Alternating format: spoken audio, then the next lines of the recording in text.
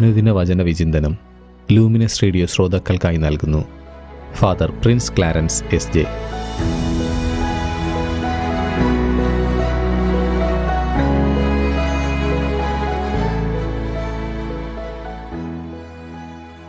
യേശുവിലറ്റം സ്നേഹം നിറഞ്ഞ ലൂമിനസ് റേഡിയോയുടെ പ്രിയ ശ്രോതാക്കളെ ഈശോ മിശിഹായ്ക്ക് സ്തുതിയായിരിക്കട്ടെ. തിരുസഭ മാതാവ് ഇന്ന് നമുക്കായി നൽകിയിരിക്കുന്ന തിരുവചന ഭാഗം വിശുദ്ധ മത്തായിയുടെ സുവിശേഷം അധ്യായം അഞ്ച് വാക്യങ്ങൾ നാൽപ്പത്തി മൂന്ന് മുതൽ നാൽപ്പത്തി എട്ട് വരെ.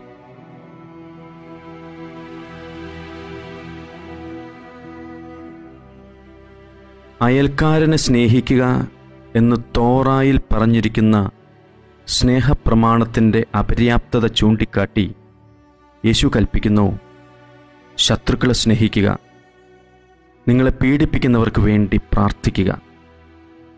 ഇപ്രകാരം ചെയ്യുമ്പോൾ അവർക്ക് കിട്ടാൻ പോകുന്ന മഹത്തായ പ്രതിഫലം എന്താണെന്നും യേശു ഇന്നത്തെ സുവിശേഷത്തിലൂടെ അവരോട് പറയുന്നു. അവർ സ്വർഗസ്ഥനായ പിതാവിന്റെ മക്കളായിത്തീരും.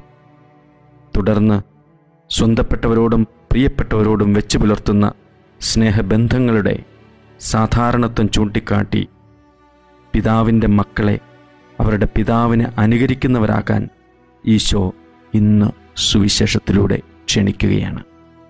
ലേവ്യരുടെ പുസ്തകത്തിൽ പറഞ്ഞിരിക്കുന്ന അയൽക്കാരനെ സ്നേഹിക്കുക എന്ന പക്ഷപാതപൂർണമായ സ്നേഹപ്രമാണത്തെ ഈശോ പുതിയ നിയമത്തിൽ തിരുത്തിക്കൊണ്ട് തന്റെ പുതിയ സ്നേഹപ്രമാണം നൽകുകയാണ്.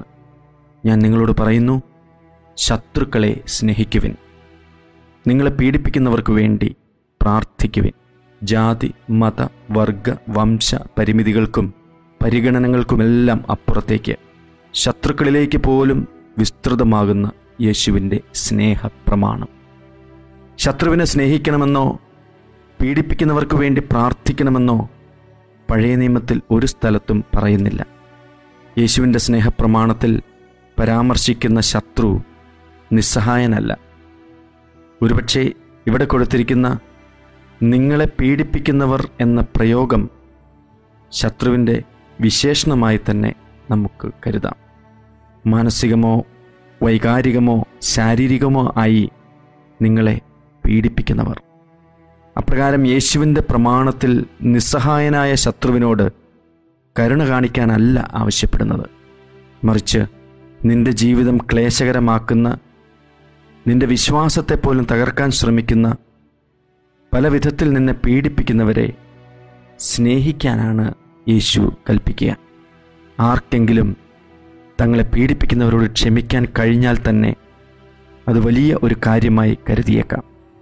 എന്നാൽ യേശു ആവശ്യപ്പെടുന്നത് അതിലും വലിയ ഒരു കാര്യമാണ്. തന്റെ അനുയായികൾ തങ്ങളെ പീഡിപ്പിക്കുന്നവരോട് ക്ഷമിച്ചാൽ മാത്രം പോരാ. അവർക്ക് വേണ്ടി പ്രാർത്ഥിക്കുകയും ചെയ്യണം. ഒരാളോട് മനസ്സിൽ വിദ്വേഷമുണ്ടെങ്കിൽ അയാൾക്ക് നന്മ ഭവിക്കണമെന്നോ ദൈവാനുഗ്രഹം ഉണ്ടാകണമെന്നോ ചിന്തിക്കാൻ പോലും ഒരുപക്ഷെ നമുക്ക് സാധിക്കുകയില്ല.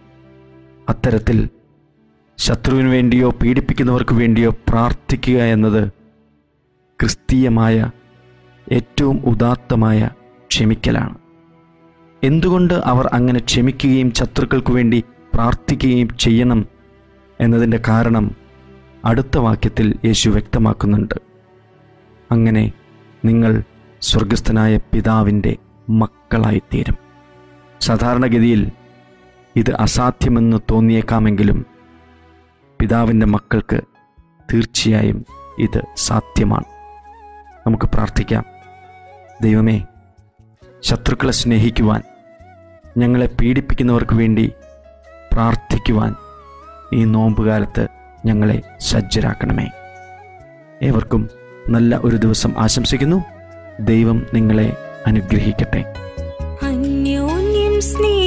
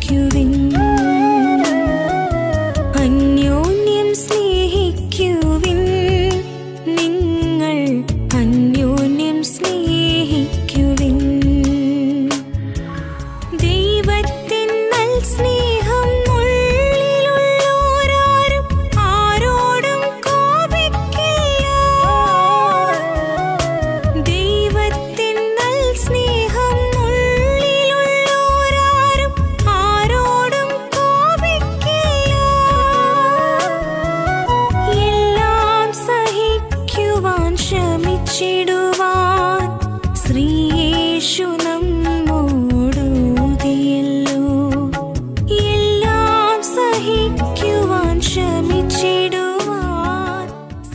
അനുദിന വചന വിചിന്തനം എല്ലാ ദിവസവും നിങ്ങളുടെ ലൂമിനസ് റേഡിയോയിൽ. അന്യോന്യം സ്നേഹിക്കുവിൻ. നിങ്ങൾ